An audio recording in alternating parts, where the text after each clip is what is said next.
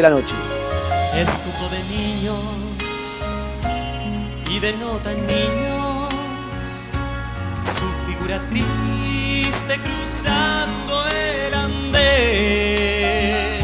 porque nadie ha visto sus ojos cansados, la cruz del olvido temblando en sus pies.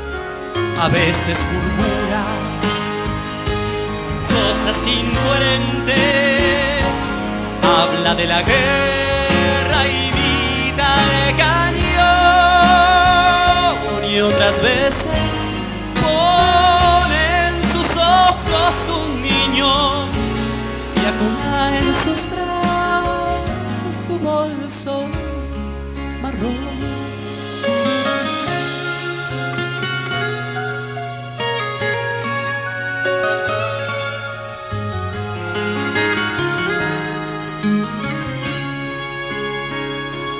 Cuando llegan trenes repletos de obreros, se pone contento, brilla su mirar.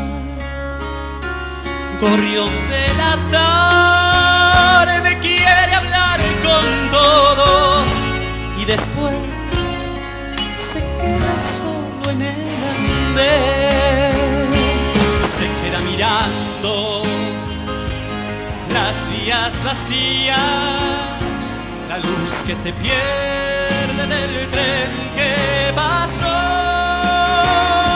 Y después se aleja murmurando cosas el viejo Matías, ogro de